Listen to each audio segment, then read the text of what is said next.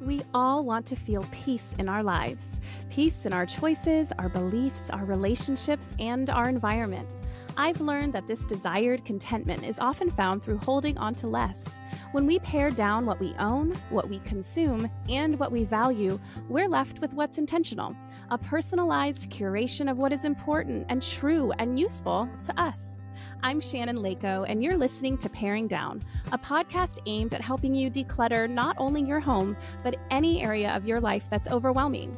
Here, we're having interesting and honest conversations about the physical and mental clutter that drowns out what truly matters to each of us. And together, we'll learn how to pare it all down, not for the sake of perfection or becoming rigid, rather, so we can move through life with less overwhelm and more joy, wisdom, and peace. Hello, puppets. We are back and it is still the holiday season. We are still in the middle of our paring down the holidays mini series. And there are so many episodes that I have wanted to record for this mini series because I feel like it can be taken in a thousand different directions. So just a reminder to head back and listen all the way way back in um, episode three, I had Carla Graves, who is a small space interior designer, come on and talk about avoiding the Christmas clutter when it comes to gifts and a little bit about traditions. Um, that's not even part of the mini series. It was just one of the very first podcast episodes I ever did. And then, you know, a couple weeks ago, we talked about uh, paring down holiday decor and then we've been diving into different things biblically, or we will continue to do that for those of us who are Christians and we're paring down the true meaning of Christmas. So this mini series is just really fun to me. And I could do like a whole year on Christmas. Maybe it's just because I love it so much. I love Christmas. I'm reading a book right now called The Little Book of Hygge. It's spelled H Y G G E. It looks like Hygge, Higgy, um, it's spelled or pronounced huga, and it's a Danish concept of like intentional coziness, which speaks to me on so many levels. Um, but anyways, part of that is associated with Christmas, like this cozy huga situation. And I'm like, yes, that's my entire personality during the month of December. And I would happily make it my entire personality throughout the year. In fact, I kind of did when we lived in Alaska because it was always a little chilly, like and rainy or snowy. There was always some form of precipitation that um, kind of encouraged us to have warm drinks and and blankets and cozy up together. And I was I thrived when we lived in Alaska. I was like in all of my cozy glory. But anyway, the point is that today we are going to continue in this mini series about paring down the holidays. And uh, today I want to talk about giving because, as we know, it is the season of giving, but I feel like we say that more than we implement that. I feel like it's more so in behaviors and actions this season of doing a lot and the season of buying gifts and the season of making plans and we say it's the season of giving um but maybe that looks like maybe we volunteer or like maybe we like in uh take part in a toy drive right? But i i wanted to take this concept of giving and the spirit of giving during the holiday season and apply it to decluttering because that's what this podcast is all about is decluttering our homes and our lives. And it is so perfectly aligned with giving uh, because when we are getting rid of our stuff, it has to go somewhere, right? And this isn't just going to be a uh, a podcast op- episode about how to give secondhand, but I am going to give you all a lot of really practical ways to offer your belongings to other people who need them. So I think a lot of times for me, I get paralyzed because I'm like, I don't know where to give my stuff. Like, how do I do this the best? And so I just drop it at Goodwill. And I'm going to talk about that. There's nothing wrong with just dropping it off, at Goodwill.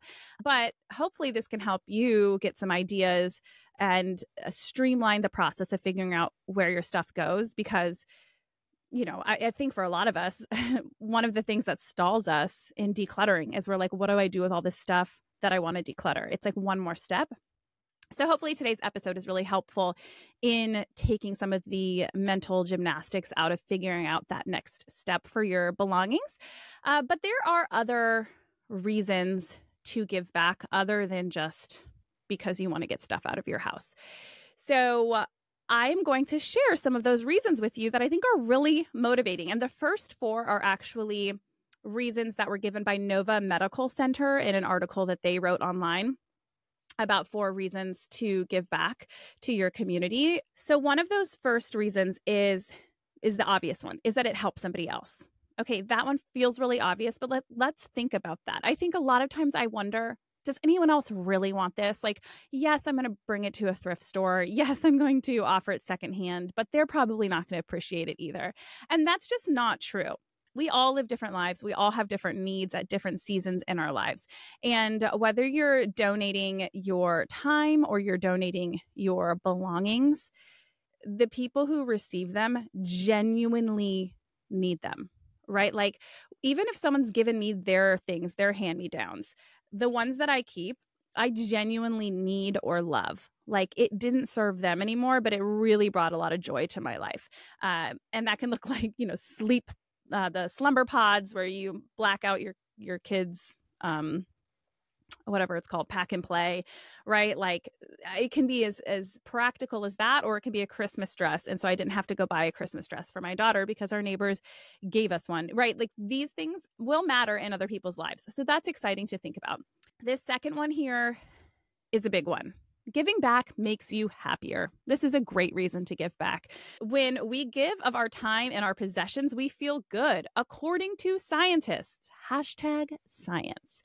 Because we are hardwired as human beings to help other people.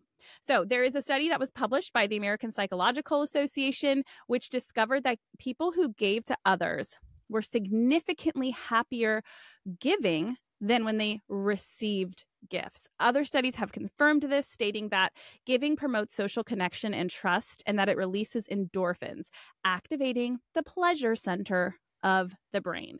I think we've all experienced this before and we maybe forget about it too easily or we use it as, maybe as an excuse to like buy too much for other people i think that's uh, can be a little bit of a pitfall it makes you so happy to give to others that like you just buy clutter for people so we do need to reel that in but just remember when it comes to donating the stuff that you have and you're giving it secondhand to somebody and you're donating it getting it out of the house it will feel so good especially if you know exactly where it's going and who you're helping um, number three, it actually makes you healthier physically.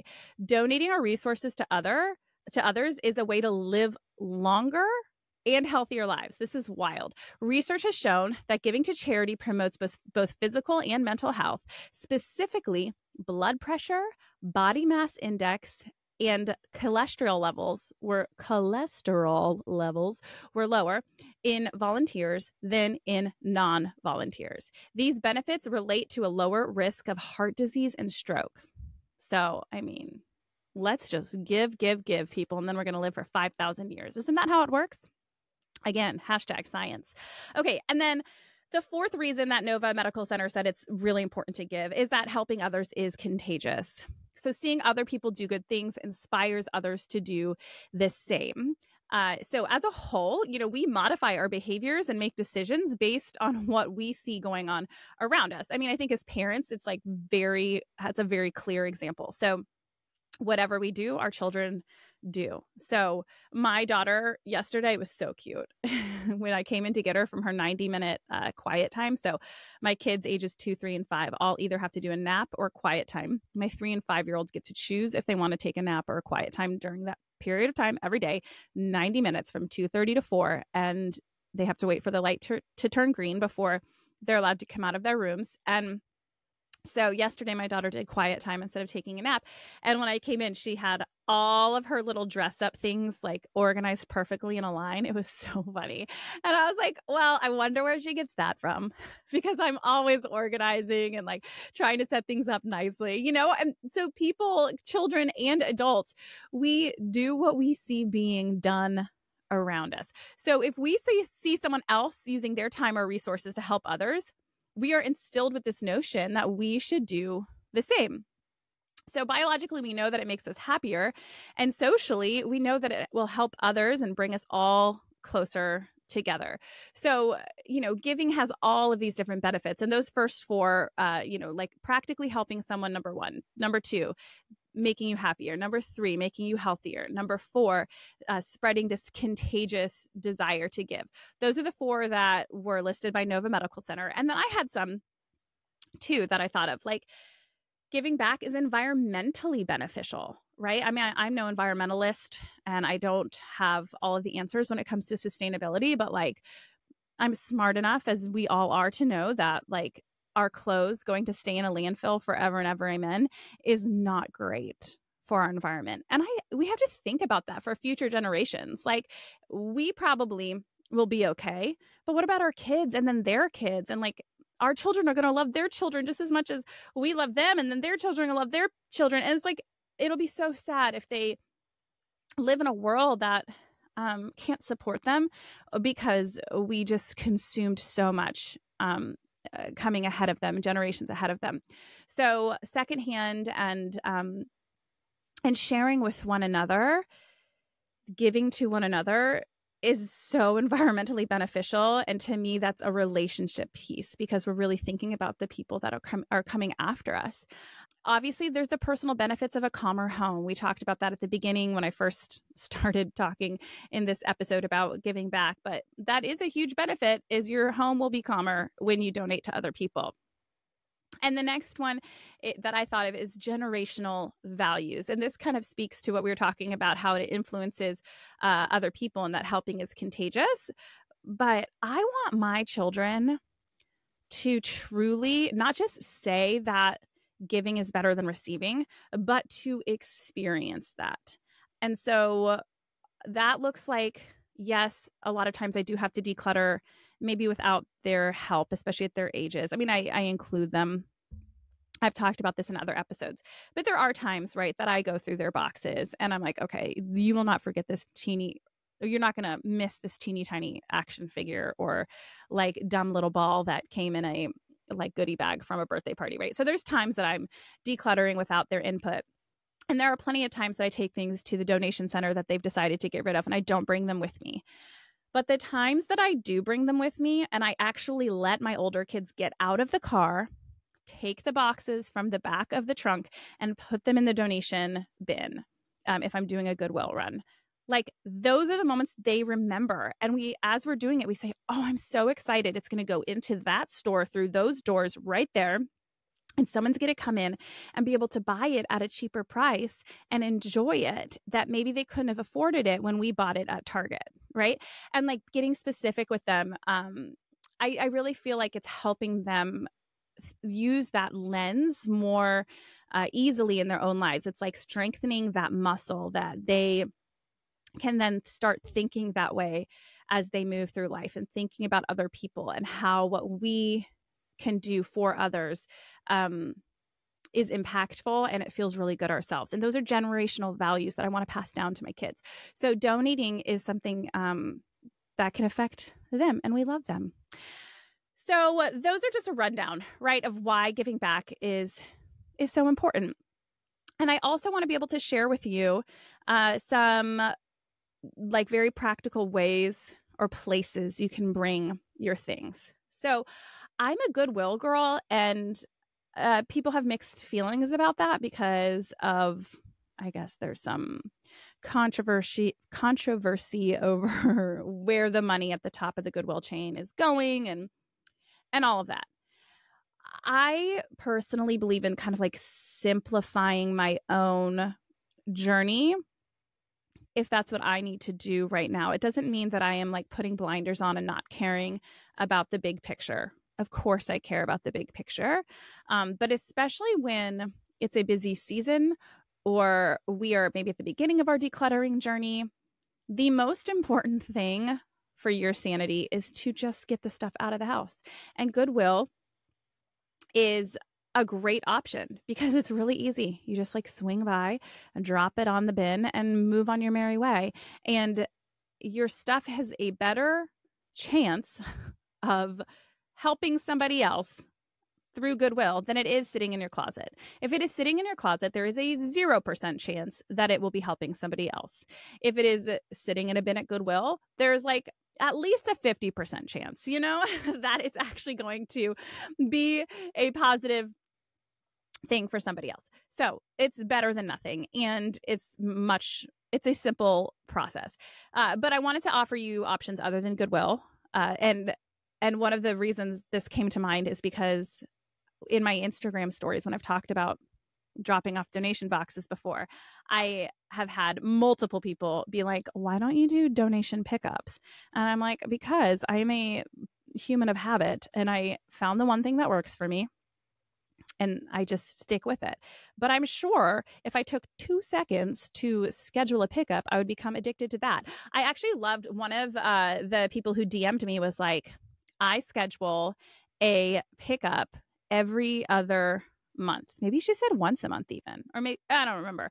But it was a consistent pickup where they come to her house every month on the same day to pick up donated items. And she's like, it keeps me very accountable for consistently moving things out of my house because I know these people are coming to pick it up and I don't want them to show up and have nothing to get. And I've now wasted their time and their service. And I think that is like a pretty um, hardcore, but pretty awesome to have that consistency. I should probably do that because I'm always filling our donation box. It's a diaper box or an Amazon box, whatever I have at the time. Usually diapers because I still have two um, in diapers, kind of, sort of, at least overnight. That's not the point. The point the point is is that there's a consistency here. I'm consistently going to Goodwill. My kids know where it is. They when I actually sometimes like describe where things are, I'm like, "Oh yeah, their house it's over by Goodwill" because my children know where that is. It's that consistent in our lives. Or you can schedule a pickup to add to consistency. So, uh, a great way to schedule a pickup is pickupplease.org backslash donation program.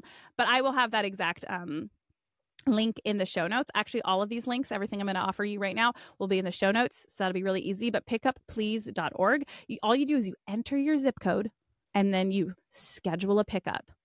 I mean, talk about a great service.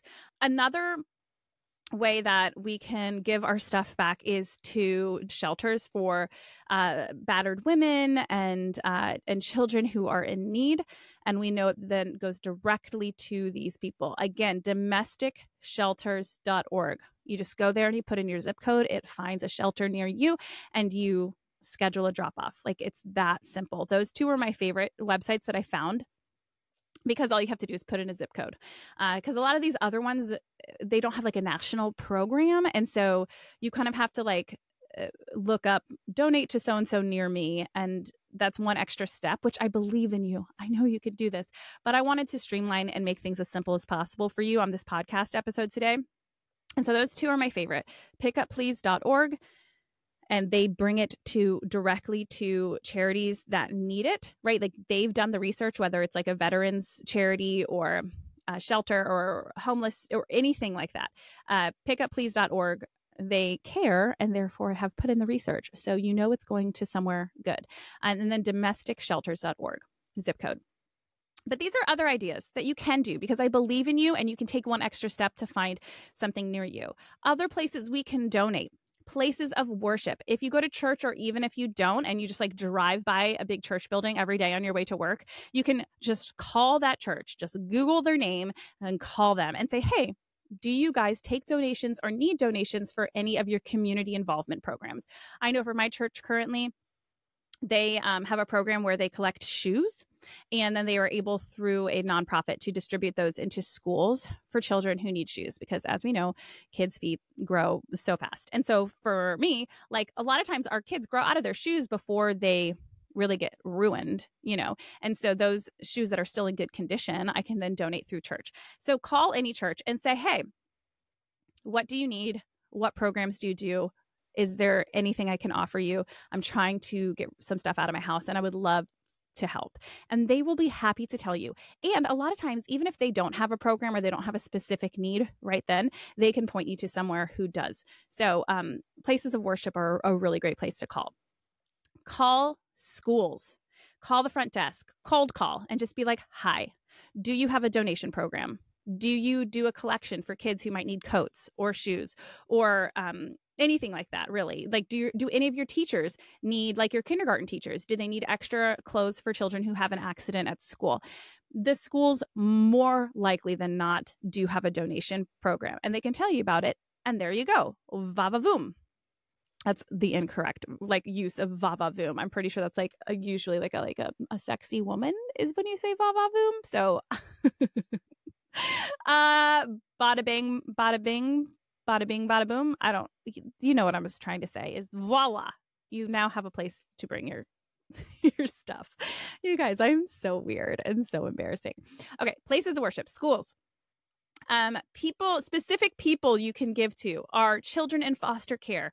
Go online, Google how to donate my belongings or items. I would definitely specify specify that because otherwise they're just gonna um, it's going to populate with different ways to donate monetarily. So, ways to donate items, clothing to foster children near me. I found a whole bunch near me in Florida, or you can just find the like the foster care office phone number near you and you and you call them um, it's like a usually a government number uh, refugees these people gosh can you imagine being a refugee you show up in another country because you for your safety with your children and you i mean these people might be like just like so smart and successful in their own countries and then they come here and just because they don't speak the language or they look different everybody just thinks that they're kind of um I don't know, like lower than, and they they pity these people. When in reality, they're just people who love their children and they just want to keep their families safe. I mean, whether they have children or not, they want to stay safe.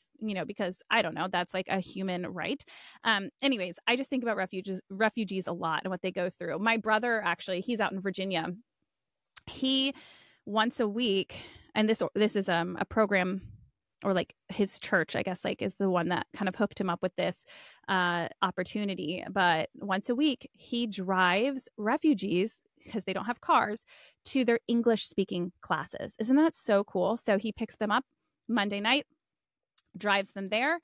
They're there for two hours or whatever, and he goes back home. And then he comes back at nine o'clock p.m., pick them up, and takes them back to their home so that they have this opportunity to become more integrated in society by learning our language. And so refugees are really important people to think about. So Google, you know, how can I donate my belongings to refugees near me? They're oftentimes they're just like in these apartments and they don't have anything in them. They need the basics. They need your old furniture that you don't like. You know, these these can be put to good use for people who are here and don't have anything with them except of their loved ones. So there are other options in in terms of giving back that aren't just like donation, but you can do buy nothing groups. I mean, I guess that's still technically donating. Buy nothing groups on Facebook are awesome. I have to tell you how my girlfriend does it because to me, I'm like, uh, because it's like so much extra work. I have to take a picture of the thing and then I have to put it out there and then I have to choose somebody and then I have to coordinate with that person. Then they have to show up and take it. I'm like, this is so much work. I don't want to. So this is what my girlfriend does. She says that she just snaps a picture, puts it up on the group, and says, Who wants it? And uh, the first person to comment, she just goes, Great, I'm putting it on my porch. It will be there until 3 p.m. tomorrow. Come grab it. And if it is still there at 3 p.m. tomorrow, I'm going to move to the next person on my list. So she doesn't have to coordinate with them. She just says, Great, come and get it. It is outside. To me that is so much better than being like can does three o'clock work for you for pickup? Like i don't need to be there. And like what am i worried? This is going to be stolen off of my porch? Good. I'm trying to get rid of it anyway. Like anyways i thought that was really smart. So she just does that. Um uh, you can also uh, do freecycle.org. It's similar to Buy Nothing, but you don't need um, you don't need like to use social media. It's just through the app or the the uh, website. So freecycle.org. Again, all of these are going to be in the show notes. Uh, oh, another great one. I I don't. This doesn't fall as much into the buy nothing free cycle type thing, but um, findhelp.org. This would fall under maybe the children in foster care and refugee thing when you're trying to find somebody who needs your help and needs your things if you go to findhelp.org, it's really designed for people who need help, but it's a great place to go if you want to offer help because you can see what the needs are. And at the top of that website, there's like this uh, you can choose like home goods or belongings or something like that. And then it will show you near you where you can go to get those belongings if you're someone who needs it. And so, as the person who has the belongings, you can then call that organization and say, hey, can I donate these to you? So findhelp.org is really, really great. And of course, just good old word of, word of mouth. Ask your friends. I mean, ask your neighbors. Do you need this? Um, I had a girlfriend in my small group at church that was like, "Hey, our custodian, she's a teacher, our custodian at school is suddenly uh, has to house her daughter and grandchildren and they don't really have anything. Do you guys have anything you can give?" And I was like, "Oh my gosh, I've been trying to think of where how to get rid of this pack and play. I actually have two pack and plays that we're done with now that my 2-year-old has decided he will crawl out of any sleeping arrangement. So, he's getting a toddler bed for Christmas. And um I never got rid of our three year olds pack and play. And so we have two. And I was like, oh, this is a great opportunity because she said they have, there's a one year old and obviously they don't have a crib um, in grandma's house. And so I'm going to be able to bring that pack and play for them. Right. So um, I'm so glad that she just asked and we can ask people to just like text your friends or text. You, have you heard of anyone that needs X, Y, and Z? Because people have. They'll be like, oh, my coworker mentioned this, or like, I know so and so who just had a baby, or whatever. So just don't be afraid to ask uh, the people in your life, your coworkers, your your sphere of influence is what I like to call it. Um, so that's that. I hope today's episode was helpful in just reminding you that it doesn't have to be so complicated to donate our items and to get them out of our house. We just have to do it, not only for the sake of others, which is important. That is an important sake, if you will. like, let's be kind to people in this world because that to me is like the most important thing.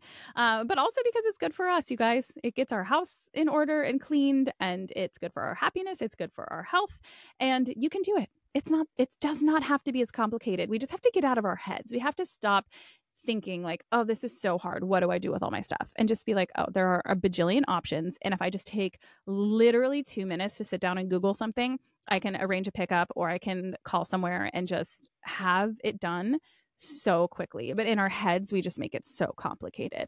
Uh, and so I encourage you to get out of your head. To go to the show notes to pick one of these options and to donate your items because it is the season of giving. And so let's actually make it the season of giving rather than just saying that. Okay. Merry Christmas, everyone. Thank you so much for tuning in to another episode. You just listened to an episode of Paring Down with me, Shannon Leyko. If you enjoyed the show, it would mean the world if you can leave a review wherever you listen and share this episode with a friend. Those reviews really are what keeps a podcast on its feet for the long haul, and I will read every single one with a huge smile on my face, so thank you ahead of time. If you're watching on YouTube, don't forget to hit subscribe. Also, be sure to follow along on Instagram at Paring Down Podcast, where I offer lots of tips and inspiration for down, along with what's new here on the podcast. Till next time.